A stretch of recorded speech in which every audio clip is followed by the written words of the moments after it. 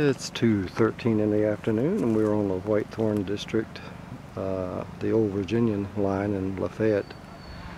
And we have an eastbound.